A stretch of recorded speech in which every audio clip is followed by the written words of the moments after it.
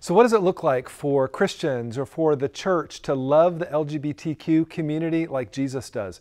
Or maybe just do better, caring for our friends and family and neighbors who are part of the LGBTQ community, even if those Christians or that church has a traditional view of marriage and sexuality. Well, at the Good Complex podcast, we talked to Bill Henson, founder of Posture Shift, an organization dedicated to wrestling with some of those issues. This is a portion of that conversation. We would all agree that LGBT plus community are people to be loved, not people to be judged. Yes. Um, and that's our kind of our jam here at the Good Complex, whether Christianity is your thing or Yes. something else. But um, that said, uh, you know, in Christianity there are there are strains of Christianity that um, believe that you know anything goes kind of when it comes hey just figure out your own sexuality and do your thing. And then there's a strain of christianity that says well you know there is a an ethic that that jesus affirms about sex being in the context of marriage between a man and a woman. And that's Right. not about orientation. That's about sexual activity. But Yep.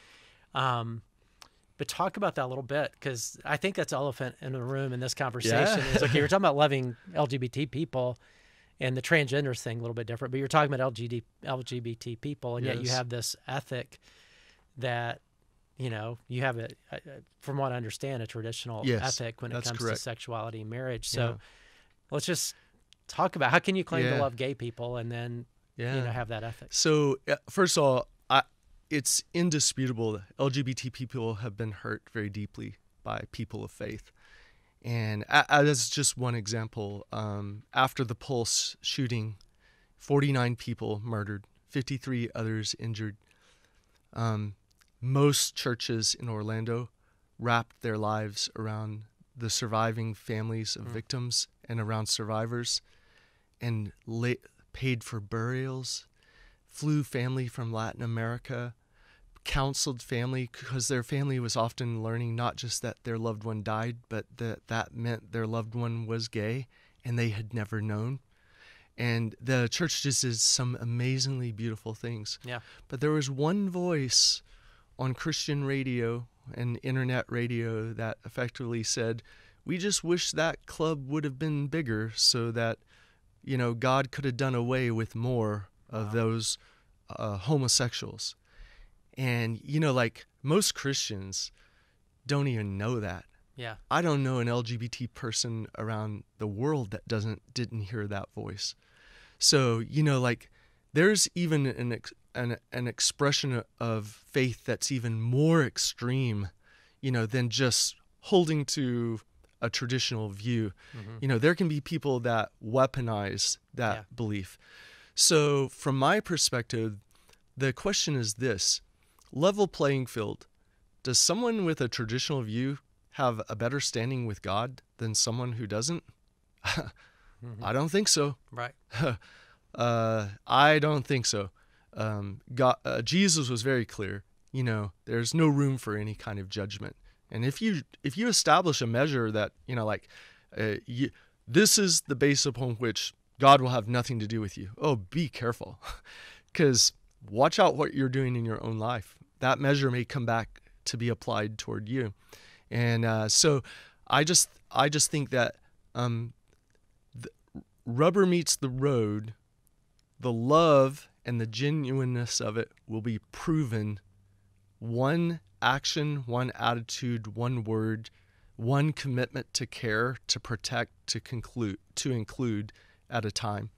And so the fact that LGBT people might say, "How how could I ever trust, you know, a family member or a pastor or a church or a ministry with a traditional view?" I'd say, "Yeah, you have every right to have that kind of suspicion. Uh, I would be suspect too. Oh, and I hope you'll measure love based on the love that is actually happening rather than the belief gap. In other words, Yeah. a lot of people would like to just simplify it, say there's a belief gap and there's side A, side B, and if you're on the traditional side, you are automatically hateful and I could never feel safe around you. Well, I mean, that's been proven untrue over and over again Yeah. through tangible acts of love, care, inclusion, protection. Yeah. So I would say the onus is not on LGBT people to just say, trust, trust us. The onus is on people of faith that hold that belief to prove that they're not out to condemn, to judge, to weaponize their belief against, to battle against the civil rights of, uh, to look away when harm is being done to LGBT people.